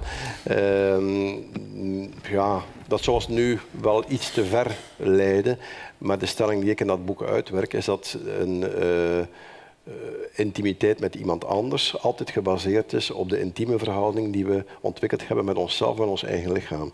En als we niet goed in ons vel zitten, als ik niet goed in mijn vel zit, dan kan ik ook niet goed omgaan op een intieme manier met iemand anders. Intiem binnen de slaapkamer of buiten de slaapkamer, maakt eigenlijk niet zoveel uit. Eh, dus intimiteit is voor, is voor mij veel ruimer dan eh, de, de erotische uitwisseling. Ja. Ja, ik zit even over na te denken. Eh, sorry, dat moet ook, moet ook gebeuren. Ehm, ehm, it- weet je, intimiteit is ook iets onuitgesprokens. En zelfs, denk ik, gedeeltelijk, niet, niet, niet alleen maar, dus ik ben het verder helemaal eens met wat jij erover hebt, maar het is gedeeltelijk ook iets wat eh, een zekere vanzelfsprekendheid krijgt. Naarmate je langer bij elkaar bent, ja. eh, je- een gemeenschappelijke geschiedenis, dat heeft allemaal Ja, mee te maken. ja. En ehm, wat, wat, wat ik op de een of andere manier, wat ik, ik, ik probeer dus woorden aan te geven, want ik heb er nog niet zo over nagedacht. Maar wat ik wel zag bij, eh, bij Nico was dat hij toch nog heel lang mij niet alleen is blij, eh, blijven herkennen, maar ook nog heel lang wel degelijk bepaalde gebaren. Dat zijn ja. Maar eh, dus eh, wat hij bij anderen niet deed. Ehm, dus intimiteit zit blijkbaar ook nog ergens eh, in de hersens waar. ehm, ehm, dat gaat op een gegeven moment ook weg, dan, dan is er helemaal geen verschil meer. Maar zit nog ergens in de hersens waar het nog wel een soort van, ja, bijna, bijna, ja, wat is het, reflex is? Ik, ik weet het niet zo goed. Eh, Ja. eh, ehm, ik, kan het, ik kan het niet zo goed eh, de vinger opleggen. Herken jij iets in wat ik zeg? Of, Ja, of- of, ja want als je het hebt over gedrag, intimiteit heeft te maken, onder andere, met eh, afstand en nabijheid. zeker. En de manier waarop dat je dat met elkaar, dat is een soort dans, eh, als ik het even poëtisch mag uitdrukken, maar je kan het ook letterlijk begrijpen als dans. En daarin is afstand, nabijheid eh, heel centraal. Ja. En dat is gedragsmatig en dat verwerf je. Ja. En dat heb je niet met een vreemde. Nee, precies. En, en dat blijft dus ook als je dat niet meer als zodanig kunt benoemen, zou ik maar zeggen. ja. In die zin krijgt het iets van een, ja. een reflex. Ja, ik weet niet. Het is eh, zoiets. Ik ga eh, een beetje eh, afronden. Ik eh, hoop dat u, ondanks dat het iets wat slordiger verliep dan u van ons gewend bent, hopelijk toch een plezierige avond was. Ehm, het boek is te koop. Bij het naar buiten gaan. Ik zou zeggen, lees het, want het is ontzettend mooi en indringend. Dank, Paul Verhagen, Clary Polak, dat jullie hier vanavond wilden zijn. Ehm, en hopelijk eh, eh, tot gauw. Mag je nou wel blijven eigenlijk? Mag je, mag je wel blijven hier? Moet je meteen weer terug naar Ik moet Gent? weer terug. Echt waar? Ik moet weer terug, ja. Jasses. ja. En Dus van mij mag hij blijven. Ik moet morgen examens afnemen. Oh. Het is examenperiode bij ons. Jeetje. Ik ben Nou ja, kwart voor negen. erg. Geef ze een eh, applaus.